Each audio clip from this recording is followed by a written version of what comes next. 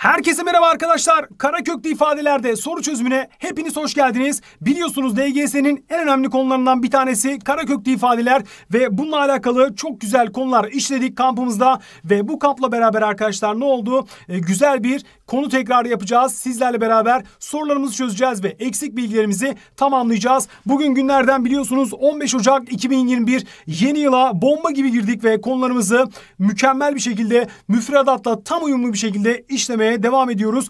Ev okul kampı mükemmel bir şekilde ilerliyor ve bu şekilde de ne yapıyoruz? Soru çözümleriyle beraber eksik kalan bilgilerimizi sizlerle beraber tamamlıyoruz ve bu şekilde tam gaz yola devam ediyoruz. Sevgili arkadaşlarım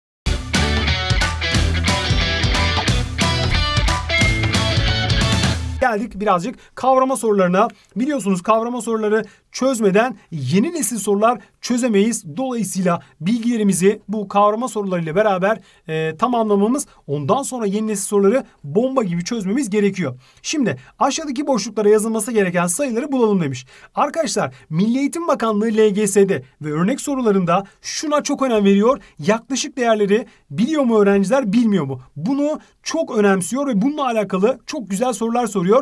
Onun için yaklaşık değer konusu çok e, basit bir konu gibi geliyor fakat sorularda sürekli karşımıza geliyor. Onun için çok dikkat etmemiz gerekiyor. Tabii ki yaklaşık değeri bilmek için de arkadaşlar tam kare sayıları çok iyi bilmemiz lazım. E, dolayısıyla da tam kare sayıları eksiklerimiz varsa hemen ne yapalım tamamlayalım e, değerli arkadaşlar. Şimdi hemen bakalım A şıkkına. Kök 60'tan küçük en büyük sayımız nedir arkadaşlar? En büyük doğal sayımız nedir? Arkadaşlar kök 60 sayısı Bakın kimle kimin arasındadır ve kime daha yakındır? Hemen ona bakalım isterseniz. Kök 60 sayısı hemen şurada yapalım. Kök 60 sayısı arkadaşlar bakın bir altında kim vardır? Kök 49 vardır. Bir üstünde ne vardır? Kök 64 vardır. O zaman burasına ben 7, burasına da 8 diyebilir miyim? 7 ile arkadaşlar 8 aralığında bir yerdedir. Bakın hatta 8'e birazcık daha yakındır. Dolayısıyla o zaman arkadaşlar ben bu kök 60 sayısına yaklaşık 7,7 diyebilir miyim? 7,7 diyebilirim çünkü 8'e yakın bir sayı. Peki 7,7'den büyük olan büyük olan bir sürü sayı var. Milyon tane sayı var. Ama bize diyor ki arkadaşlar pardon kök 60'tan küçük olacak. Küçük olan dediği için arkadaşlar bundan küçüklere bakacağım. Hemen buraya baktığımda 7,7'den küçük olacak arkadaşlar fakat en büyük sayımız olacak. Dolayısıyla 7,7'den e, küçük olan en büyük sayımız nedir? Hemen yazıyoruz arkadaşlar. Tabii ki 7'dir diyorum ve doğru cevabımı bulmuş oluyorum. Devam edelim. Kök 180 sayısının sayısının en yakın olduğu doğal sayı kaçtır? Arkadaşlar hemen şu yapalım. Kök 180 sayısını ortaya yazıyorum. Bir altındaki ve bir üstündeki tam kare sayıları çok iyi bilmem gerekiyor dedim. Bir altında hangi tam kare sayımız var arkadaşlar? Tabii ki 169'umuz var. Hemen onu ne yaptık yazdık. Bir üstünde var. Bir üstünde de arkadaşlar kök 196 var.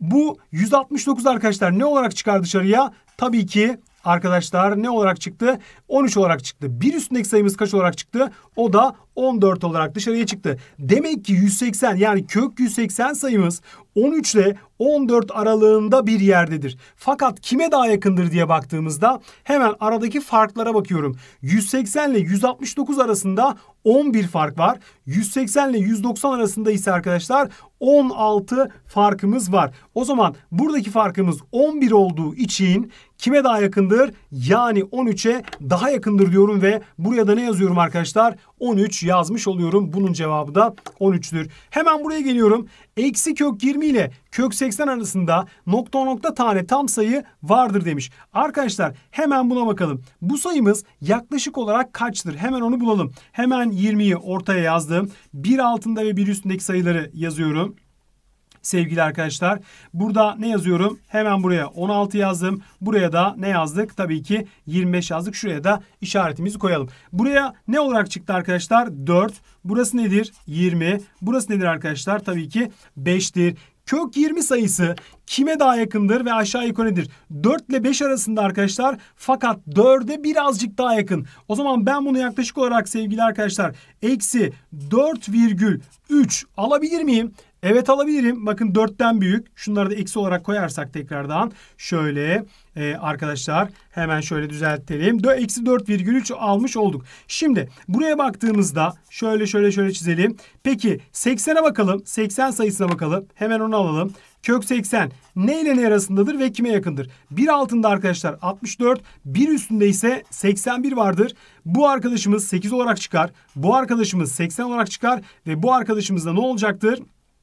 9 e, olarak çıkacaktır. Peki bu sayımız kime yakındır? Tabii ki bakın arkadaşlar 9'a çok yakındır. Dolayısıyla ben buna 8 virgül e, ne diyelim 8 diyebiliriz. 8,8. Peki bunu da yaptıktan sonra hemen geliyorum arkadaşlar. Şuraya bir yere yazalım. Eksi 4,3 ile eksi 4,3 ile hemen şu bakın aşağı şöyle gidelim. 8,8 aralığında kaç tane tam sayı vardır diye bakarsam hemen yazıyorum. Eksi 4 vardır evet. Eksi 3 vardır. Eksi 2 vardır. Eksi 1 vardır. 0 vardır. 1 vardır. 2 vardır. 3 vardır. 4 vardır. 5 vardır. 6 vardır. 7 vardır ve 8 vardır arkadaşlar. Dolayısıyla eksi 4'ten 8'e kadar olan tam sayılar vardır. Hadi sayalım kaç tane bakalım. 1, 2, 3, 4, 5, 6, 7, 8, 9, 10, 11, 12, 13 tane vardır diyorum ve arkadaşlar buraya da aralarda kaldı bakın. Şuraya da kocaman bir 13 yazmış oluyorum. 13 tane tam sayı vardır. Şurada ne yaptık arkadaşlar? Bunun eksilisini görmedik. Sanki pozitif bir sayıymış gibi yaptık. En son sonuca eksiyi ekledik ve bu şekilde ne yapmış? Sonucumuzu bulmuş olduk. Güzel bir kavrama sorusu e, sayfamızda. Çok güzel soruları ve yaklaşık değerleri bulduk. Güzelce boşluklarımızı doldurduk ve ısınmaya devam ediyoruz. Çok tarz bir soruyla devam ediyor yolculuğumuz arkadaşlar. Yine Milli Eğitim Bakanlığı'nın örnek sorularında ve arkadaşlar çıkmış sorularında buna benzer sorular vardı ve bizler de sizin için tabii ki böyle soruları e, işlemesek, anlatmasak olmazdı ve tarz bir soruyla sizlere bunları şimdi anlatacağız. Şimdi arkadaşlar ardışık doğal sayıların arasındaki mesafenin 1 santimetre olduğu cetvel kullanılarak bir kalemin boyu görseldeki gibi ölçülüyormuş ve bu kalemin santimetre cinsinden boyu aşağıdakilerden hangisi gibi olabilir demiş. Şimdi arkadaşlar burada öğrencilerimizin yaptığı en büyük hata 8'i gördükleri zaman hemen 8'e yakın bir değer gibi düşünüyorlar. Fakat böyle düşünmeyeceğiz. Kaçtan başlıyor kalemimizin boyu bakın 2'den başlıyor. 2'den arkadaşlar 7 ile 8 arasına kadar gelmiş. Şimdi 2'den sayıyorum. 3 bakın burada 4 5 bakın burada 6 7 diye gidiyor. Fakat ben bunları böyle saymayacağım. Nasıl sayacağım? Bir birim buradan gittik. 2 birim buradan gittik. 3 birim buradan gittik. 4 birim buradan gittik. 5 birim buradan gittik. Bakın 5 birim buradan gittik. O zaman kalemin boyu 5 ile arkadaşlar kalemin boyuna isterseniz x diyelim. Kalemin boyuna x diyelim. 5 ile bakın bir tane daha gidersem bir tane daha gidersem 6 aralığında bir yerdedir arkadaşlar. 5 ile 6 aralığında bakın burada şöyle bakın burası ve şurasını düşünüyorum. Burası 5 birim yapıyor. Burası 6 birim yapıyor. Benim kalemim 5 ile 6 birim aralığında bir yerlerde. Peki köklü sayılarda, kareköklü ifadelerde bir kıyaslama yapmak istiyorsam mutlaka bütün sayıları hatta buradaki sayıları da kök içine almak zorundayım. O zaman çok sağlıklı bir e, sıralama yapabilirim. Hadi alalım bakalım. O zaman burası kök 25 oldu. Buraya bakalım arkadaşlar. Burası da kök 36 oldu. Şuradaki detayı da atlamayalım. Kalemimizin ucu bakın arkadaşlar buradaki sayıya daha yakın. Yani 6'ya daha yakındır arkadaşlar. Yani kök 36'ya daha yakın bir değer olmak zorunda. Şimdi hadi bunları da alalım. İçeriye girerken ne yapıyoruz arkadaşlar? Karesi olarak alıyorum. 2'nin karesi 4. 7 ile çarparsam 28. Buraya bakalım. Kök 30. Bunu da aldık. Buraya bakalım arkadaşlar. 4'ün karesi 16. 2 ile çarparsam 32. Hemen ne yaptık? 32 aldık. Ve buradan da 2'nin karesi 4. 10 ile çarparsam 40 ifadesini gördük. Şimdi bu arkadaşımız bakın kök 25'i daha yakındır. Yani 5'e daha yakındır. Ama ben ne istiyordum? 6'ya yakın olmasını istiyorum. Çünkü bakın burada yarısını geçmiş. Dolayısıyla kök 36'ya yakın bir değer olması için bunu alamıyorum. Kök 30 yine kök 36'ya yakın değildir. Kök 25'e daha yakındır arkadaşlar. Bunu da alamıyorum. Ancak kök 32'yi gördüğümde bakın bunu da alamıyorum. Zaten bu otomatikman kalemin boyunu geçmiş. Kök 36'yı geçmiş. Bunu da alamıyorum. Kök 32 tam da istediğim bir uzunluk. Hem e, 6'ya yani kök 36'ya yakın bir değer hem de bu aralıkta olduğu için doğru cevabımın C şıkkı olduğunu mükemmel bir şekilde senle beraber tamamlamış olduk. Güzel bir yaklaşık değer sorusu çözmüş olduk. Geliyoruz birazcık da tabii ki çarpma ve bölme işlemi yapalım isterseniz. Kavrama sorularına devam ediyoruz. Ufak tefek detayları hatırlatmaya senle beraber devam ediyoruz. Aşağıda verilen işlemlerin sonuçlarını bulalım demiş. Evet arkadaşlar bir çarpma işlemiyle karşınızdayız. Çarpma işleminde çok kolaydı. Dışarıdaki sayıyla dışarıdaki sayıyı çarpıyorsun dışarıya. Kök içindeki sayıyla kök içindeki sayıyı çarpıyorsun. Kök içine yazıyorsun. Herkes yerine yazılıyor. Herkes yerini biliyor yani arkadaşlar. Hadi çarpalım bakalım. 6 çarpı 2 kök içerisinde de 6 çarpı 3 diyoruz. Buradan 6 kere 2 kaç yaptı? 12. Ee, kök içerisinde 6 kere 3 kaç yaptı? 18. Fakat burada dikkat etmen gereken çok önemli bir nokta var. Şuraya hatta soru işareti koyalım. Kök 18 dışarı çıkabilme yeteneğine sahip. Nasıldır? Arkadaşlar kök 18'i ben istersem şöyle biraz daha pratik olsun diye 9 çarpı 2 olarak yazarım. 9 da dışarıya 3 olarak çıkar. Çünkü tam kare bir ifadedir. Ve 3 kök 2 olarak yazmış oluyorum. Yani arkadaşlar kök 18 görürseniz hemen kök 18 olarak bırakmayın. Birazcık daha e, irdeleyin ve karşınıza 3 kök 2'nin çıktığını görürsünüz. Hop hatta buradan ok çıkartıp buraya 3 kök 2 diyorum. Çarpma işlemi yaptığımda dışarıdaki sayım 12, bir dışarı sayı daha geldi. 3 bunları çarpıyorum 36 diyorum ve buradan da kök içindeki sayı 36 kök 2 gerçek değerim olmuş oluyor arkadaşlar. En sade en güzel haliyle.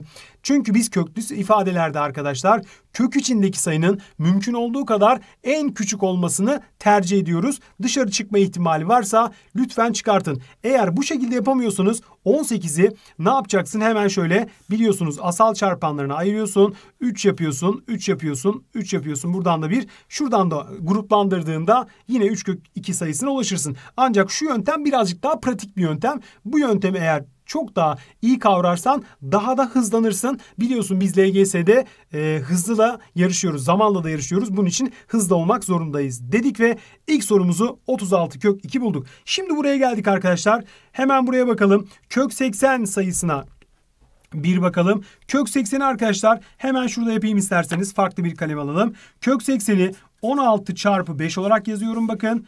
16 çarpı 5 olarak yazdığımda 16 dışarıya 4 olarak çıkarsa 5 içeride kalır. İşte kök 80'in değeri 4 kök 5. Hemen şöyle okumu çıkardım. Devam ediyorum. 108'e bakalım. 108'de arkadaşlar 36 çarpı e, kaçtır bu? 3'tür. 36 çarpı 3. 36 dışarıya çıkarsa buranın da 6 kök 3 olduğunu söyleyebilirim. 45'e baktığımızda 45 de 9 çarpı 5 olur. 9 dışarıya arkadaşlar 3 olarak çıkarsa buranın da 3 kök 5 olduğunu söyleyebiliriz. Hadi bakalım şimdi yeni bulduğumuz sayıları yazalım.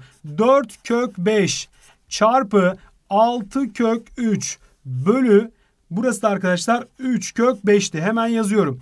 Şimdi çarpma işlemlerini istersen burada yapalım. 4 kere 6, 6 kere 4, 24 kök 15 yazdım. 3 kök 5'te olduğu yerde duruyor. Şimdi sadeleştirmeyi yapıyorum. Kök içindeki sayılar kök içindeki sayılarla, dışarıdaki sayılar dışarıdaki sayılarla. Bakın 24 de 3'ü sadeleştirirsem buradan 8 gelir. Yani 8. Kök 15'te kök 5 sadeleştirirsem arkadaşlar buradan 3 kalır. Ama köklü sayılarla sadeleştirdiğim için kök 3 olacaktır. Yani doğru cevabım 8 kök 3 olarak bulmuş oluyoruz. Hocam ben şu noktada sadeleştirme yapsam olur mu? Tabii ki olur. Mesela kök 5'e kök 5'i sadeleştirebilirsin. 3 ile 6'yı sadeleştirebilirsin. Ben bu yolu tercih ettim. Sen de bu yolu istersen tercih edebilirsin diyoruz ve bu güzel soruyu da senle beraber tamamlamış oluyoruz. Bir tane yeni nesil bir soru çözelim sevgili arkadaşlar. Şimdi gelelim sorumuza.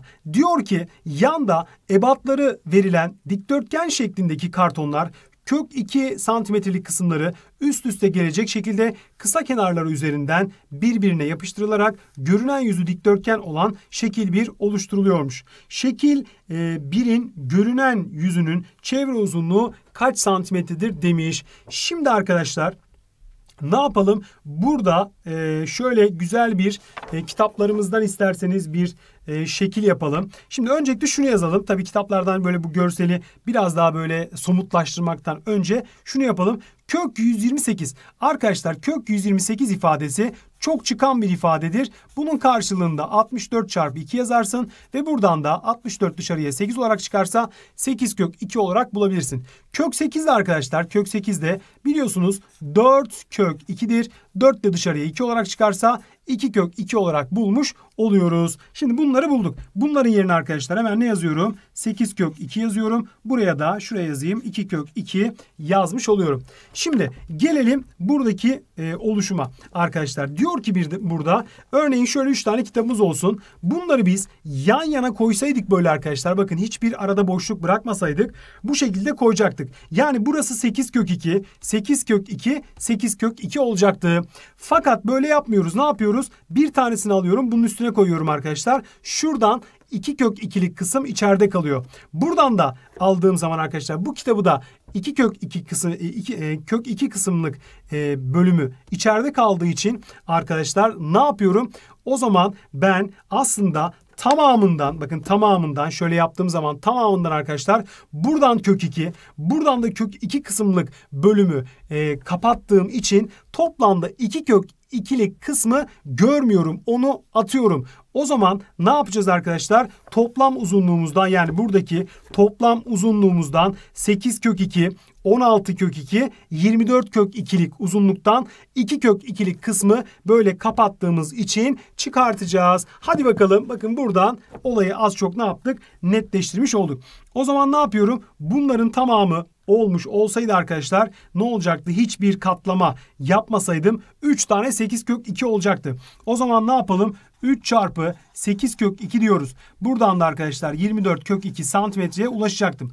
Ancak şuradaki bakın şuradaki kök ikilik kısımla şuradaki kök ikilik kısım alt tarafta kalacağı için toplamda 2 kök ikilik kısmı ben göremiyorum. Dolayısıyla arkadaşlar 24 kök 2'den şuraya yazalım. 24 kök ikilik kısımdan neyi çıkartacağım? 2 kök ikilik kısmı göremediğim kısmı çıkartırsam burası ne olacaktır? 22 kök 2 santimetre olacaktır. Şimdi bu şeklin arkadaşlar uzun kenarının uzun kenarının ben ne buldum? Şöyle biraz daha kalınlaştıralım. Ne bulduk arkadaşlar? 22 kök 2 olduğunu bulduk. Aynı mantıkla devam ediyorum. Bu dikdörtgenin burası da arkadaşlar 22 kök 2 değil midir? Evet doğru. Şu bölüme baktığımızda şu bölümde zaten burada bulduk. Şurası 2 kök 2 yapıyorum burasını. Burada da arkadaşlar yine aynı mantıkta burası da 2 kök 2. Hadi bakalım o zaman çevremizi bulalım. 22 kök 2 buradan geldi. 22 kök 2 buradan geldi. Etti mi size arkadaşlar 44 kök 2 artı 2 kök 2 buradan geldi. 2 kök 2 buradan geldi. Toplam 4 kök 2 de ne yaptık? Geldi kısa kenarlardan toplarsak bu arkadaşların cevabımızı da en sona yazalım artık. Son nokta cevabımız arkadaşlar 48 kök 2 olur ve bu şekilde de ne yaparız? Cevabımızı mükemmel bir şekilde bulmuş oluruz. Buraları size kitaplarla birazcık göstermeye çalıştım sevgili arkadaşlar ve bu şekilde de yolculuğumuzu e, bu soru için tamamlamış olduk. Tabii ki bizde yolculuklar bitmez. Güzel bir model soruyla isterseniz devam edelim. Bu arada e, ondalıklı sayıların kareköklerinde e, hem de bir tekrar etmiş olacağız. Eş karelerden oluşan zemin üzerindeki mavi boyalı bölgenin alanı 4,86 birim kare olduğuna göre bu bölgenin çevre uzunluğu kaç birimdir demiş. Arkadaşlar şöyle bir isterseniz kalınlaştıralım. Arkadaşlarımızdan göremeyenler varsa burayı ne yapıyoruz? Şöyle hafif kalınlaştırıyorum ve bu şekilde ne yapalım? Daha da somutlaştıralım. Şimdi toplamda kaç tane arkadaşlar karemiz var? 1, 2, 3, 4, 5 ve 6 tane karemiz var. Bu karelerin alanları toplamı 4,86'ymış. Peki kaç tane kare var? 6. O zaman ben 4,86'yı arkadaşlar 6'ya bölersem bir tanesinin alanı bulabilirim değil mi? Böldüğümde arkadaşlar kaç çıktı biliyor musunuz? 0,81 birim kare çıktı. 0,81'i görünce mutlu oluyorum. Çünkü tanıdık bir e, yüz gibi 81 tam kare sayı, 0,81 yine tam kare bir ondalıklı sayı. O zaman bir tanesinin alanı arkadaşlar 0,81'miş. Peki ben bir tanesinin alanı biliyorum. Alanı verilen bir karenin arkadaşlar bir kenarını nasıl buluyordum? Nasıl buluyordum? Evet Doğru. Yani alanın arkadaşlar kare kökünü alıyorduk. 0.81'in kare kökünü aldığımızda bir kenarın 0,9 santimetreye eşit olduğunu söyleyebiliriz. Yani buramızın bir kenarı 0,9 santimetre. Peki bir kenarımız 0,9 santimetre ise kaç tane kenar var? Sayalım bakalım. 1, 2, 3, 4, 5, 6, 7, 8, 9, 10, 11, 12, 13, 14 tane var. İçerideki kenarları saymıyorsun arkadaşlar. Şimdi 0,9 santimetreden 14 tane varsa o zaman arkadaşlar 14'ü ne yapıyorum? 9 ile çarpıyorum. Sonra da 1 virgül kaydıracağım. Çarptığımda 4 kere 9 36. 36'nın 6'sı elde var 3. 9 kere 1 9. 3 de elde 12 yaptık. Fakat bir virgül kaydırmamız gerektiği için şuradan bir virgül kaydırdım. Ve doğru cevabımın yani çevremin uzunluğunun 16 şey 12,6 birim olduğunu senle beraber işte buradaki işlemlerle beraber bulmuş olduk. Çok da güzel bir soru. Burada neyi arkadaşlar tekrar etmiş olduk? Burada e, hem ondalık sayılar çarpma hem verilen bir ifadenin ondalıklı sayının karekökünü almayı hem de güzel bir mantık yürüterek bu şeklin çevresini bulmayı senle beraber bu soruda tamamlamış olduk. Geldik bir başka soruya arkadaşlar. Ondan sonra bir sorumuz daha var ve ondan sonra artık ne yapacağız? Dinlenebiliriz diyeceğiz ve ödevlerimizi vereceğiz. Şimdi Ta, e, Toyberg bir yüzünün alanı 2,56 metrekare olan kare şeklindeki kartondan Görseldeki gibi arkadaşlar bir yüzün alanı 0,64 metrekare olan kare şeklindeki bir parçayı çıkarıp atıyor. Arkadaşlar şuralara santimetre kare diyelim ki daha anlaşılır olsun. Santimetre kare diyelim. Ee, kalan şeklin çevre uzunluğu ile başlangıç şeklin çevre uzunluğu arasındaki fark kaç santimetredir demiş. Şimdi arkadaşlar ilk isterseniz ilk başta bu şeklimizin şu güzel kartonumuzun kare şeklindeki kartonumuzun çevresini bulalım. Nasıl bulacağız? Alanımız arkadaşlar 2,56 değil miydi? E, santimetre kare değil miydi? Evet. Ben bunun kare kökünü alırsam bir kenarını buluyorum. Hadi alalım bakalım. Ben bunun kare kökünü aldım. Kare kökünü alırsam bu sayımız normalde 256 olsaydı 16 olurdu. Ancak 2,56 olduğu için dışarıya da 1,6 santimetre olarak ne yapacaktır? Çıkacaktır. Şimdi buradan arkadaşlar bakalım Çevremiz ne oldu? Şimdi çevremizi hesaplayalım. 4 tane 1,6 var değil mi? 4 tane 1,6 varsa hemen hesaplayalım bakalım.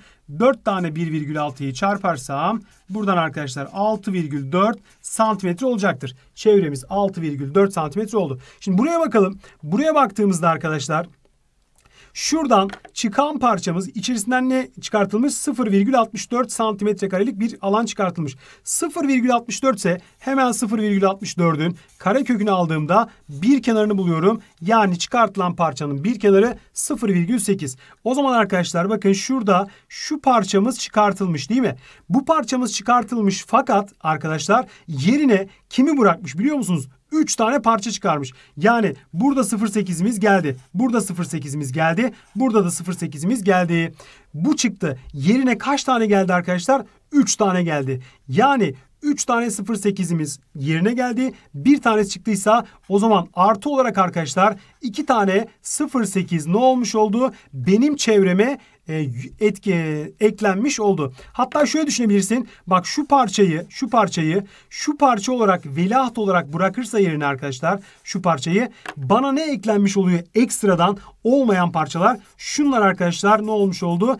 eklenmiş oluyor. Yani toplamda arkadaşlar 1,6 santimetre bana eklenmiş oluyor. Peki ona göre arkadaşlar ne diyeceğiz? Kalan şeklin çevre uzunluğu ile başlangıçtaki şeklin çevre uzunluğu arasındaki fark kaç metredir ya da santimetredir dediğimizde 1,6 yani burasıyla burası arasındaki fark şu iki tane içeriye girdiğimiz kenar uzunluğu Onların toplamı da 1,6 santimetre yapar. Yani doğru cevabımız arkadaşlar 1,6 santimetre olacaktır diyoruz ve son sorumuza mükemmel bir şekilde konularımızı tekrar ederek geldik. En son soru kek soru. Tabii ki kek olacak. Şöyle yanında da güzel bir çayla mükemmel bir şekilde bu sorumuzu da çözeceğiz. Turgut öğretmen Tonguç'a kök 432'yi öyle bir sayı ile çarp ki sonuç doğal sayı olsun demiştir. Tonguç doğru bir sayı söylediğine göre bu sayı aşağıdakilerden hangisi olabilir demiş. Şimdi arkadaşlar kök 432'yi hemen isterseniz bir kere ilk yapman gereken şey asal çarpanlarına ayırmak. 2'ye böldüğümüz zaman 216, 2'ye bölüyorum 108, 2'ye bölüyorum arkadaşlar. Kaç olur buradan? 54 olur. 2'ye böldüm 27, 3'e böldüm 9, 3'e böldüm 3, 3'e böldüm 1 ve bitirdik. Buradan arkadaşlar şimdi gruplandırıyorum. Bu 2 çıktı. Şu arkadaşımız 2 olarak çıktı. Şu arkadaşımız 3 olarak çıktı. Yani arkadaşlar kök 432 kök 432 sayısı nedir? 2 kere 2 4, 4 kere 3 12 kök 3'tür arkadaşlar. Şimdi bunun bunun arkadaşlar çarpıldığında bir doğal sayı olabilmesi için şu kök 3'ten yani kankasından bir tane daha olması lazım arkadaşlar. Önündeki sayının ne olduğunun bir önemi yok bakın. Ama mutlaka şuradaki kök 3'ten çarpacağımız sayının da aynısı kök 3 olması lazım ki çarpıldığında kökten kurtulsun. Bunlara biz kanka diyoruz. Kankasını görünce mutlu oluyor ve doğal sayıya dönüşüyor. Önündeki sayının eksi olması, artı olması, 3 olması, 5 olması hiç önemli değil. Yeter ki kök 3 olsun. Şimdi gelin bakalım buna. Kök 54 sayısına bakalım arkadaşlar. Kök 54 sayısını ne yaptık? Hemen kenarda arkadaşlar ne yaptık? Böldük. 2'ye böldüm 27, 3'e böldüm 9, 3'e böldüm 3, 3'e böldüm 1 çıktı arkadaşlar. Buradan da gruplandırdığım zaman 3 kök 6 olduğunu buldum.